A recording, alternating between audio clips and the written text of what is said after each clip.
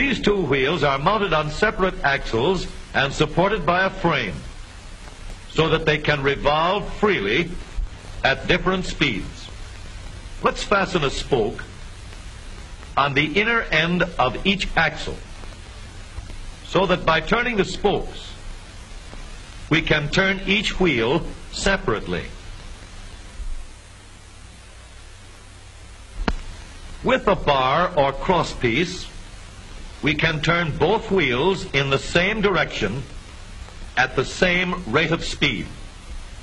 Let's get something to hold this bar in place so that it will press against the spokes. Notice that this support is not locked to the axle. It turns freely. Now, we can spin the wheels by rotating the support. This is fine, as long as both wheels are able to turn at the same speed. But, let's see what happens when we go around the corner. With this arrangement, we cannot drive one wheel faster than the other.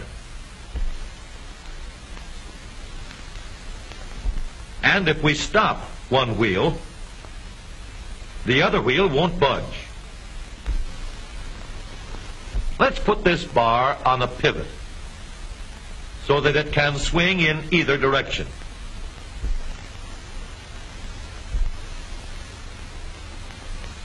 Now, the bar can still turn both wheels at the same speed.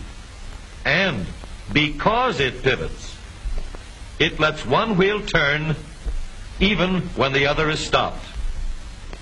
But if turned too far, the bar will swing around until it won't drive the spokes that turn either wheel. We need another crossbar and more spokes to carry on the job.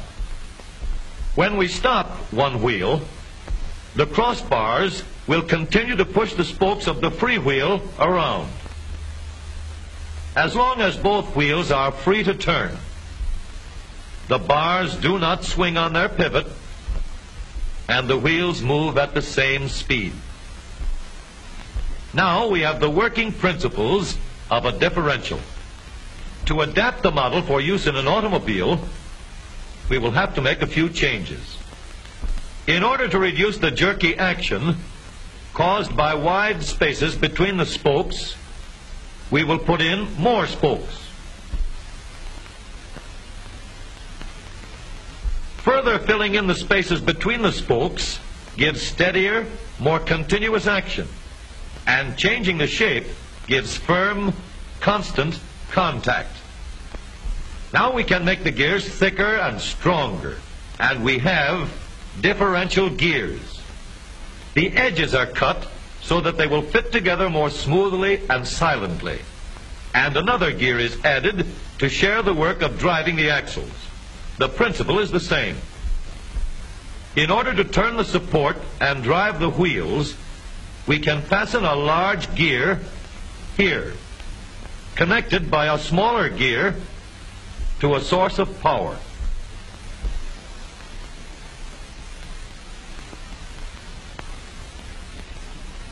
Notice that the power is connected to the differential at the center line